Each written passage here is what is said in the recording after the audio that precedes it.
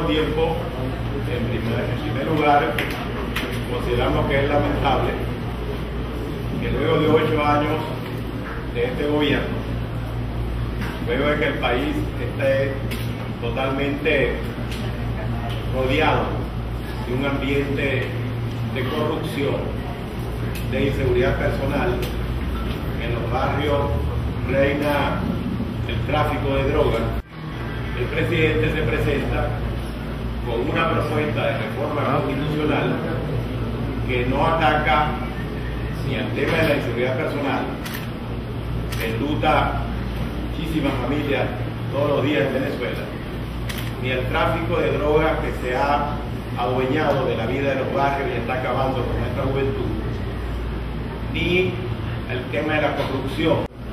El gobierno, en vez de proponer algunas alternativas a estos problemas, lo que plantea es la reelección continua del presidente. Pero no solamente que no propone ninguna norma contra la corrupción, sino que elimina de la Constitución Nacional, y eso no se ha dicho hasta ahora, me parece que una de las cosas más graves que contiene esta reforma, las normas constitucionales que tiene a combatir la corrupción.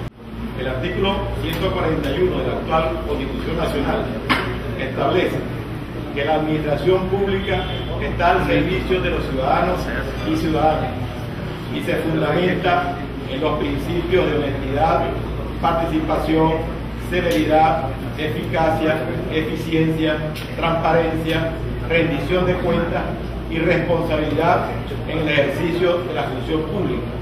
El presidente, en su propuesta de reforma, propone eliminar el principio de honestidad en la administración pública. Propone eliminar el principio de la transparencia y el de la responsabilidad.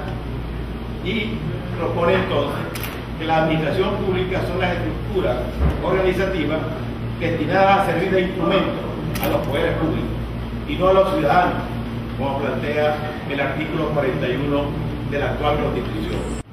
Entonces, lo que viene es más corrupción sin control de acuerdo a este planteamiento. Por otra parte, queremos ratificar nuestro criterio de que esta propuesta es un intento de engañar nuevamente al pueblo de Venezuela.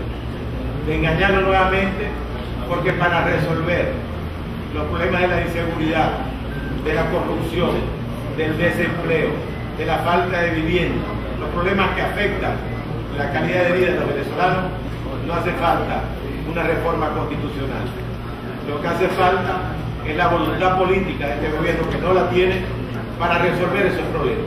Esta propuesta, en caso de aprobarse, evidentemente generaría mayor escasez, generaría falta de inversión en Venezuela, porque plantea en el artículo 305 la posibilidad de que el Estado asuma cualquiera de las ramas de la agricultura, de la pesca, etc.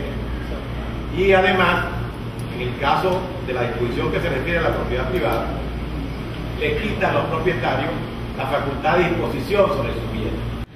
De tal manera que esto es una propuesta que nos lleva a la escasez y a quitarle todo estímulo a la inversión en Venezuela. Igualmente, propone acabar con la descentralización. Prácticamente su propuesta consiste en vaciar de competencia y de jurisdicción territorial a los estados, a los gobernadores de estado y a los alcaldes para él, por vías paralelas, asumir la competencia de los gobernadores y de los alcaldes.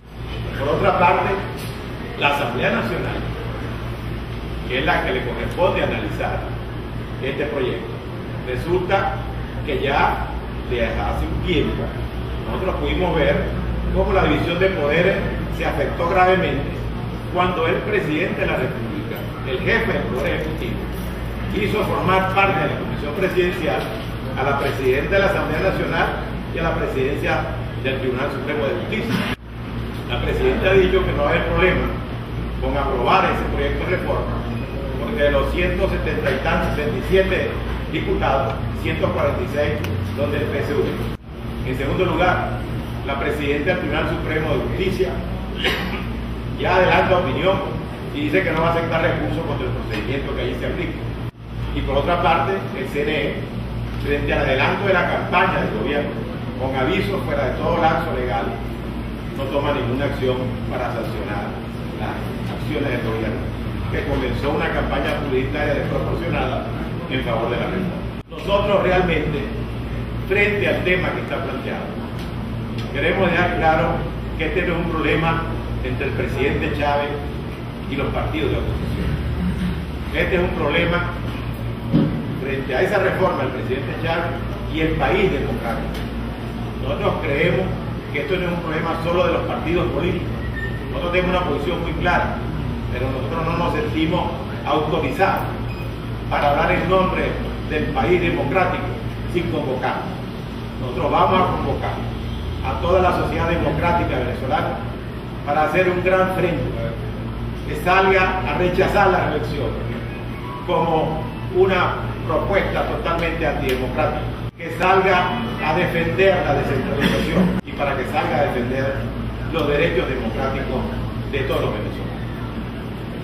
En ese sentido, quiero hacer un llamado a todos los sectores de la sociedad democrática, partidos políticos, organizaciones de otro tipo, a las amas de casa, a los estudiantes, a los trabajadores, a los consejos comunales, a los profesores universitarios, a que nos organicemos todos.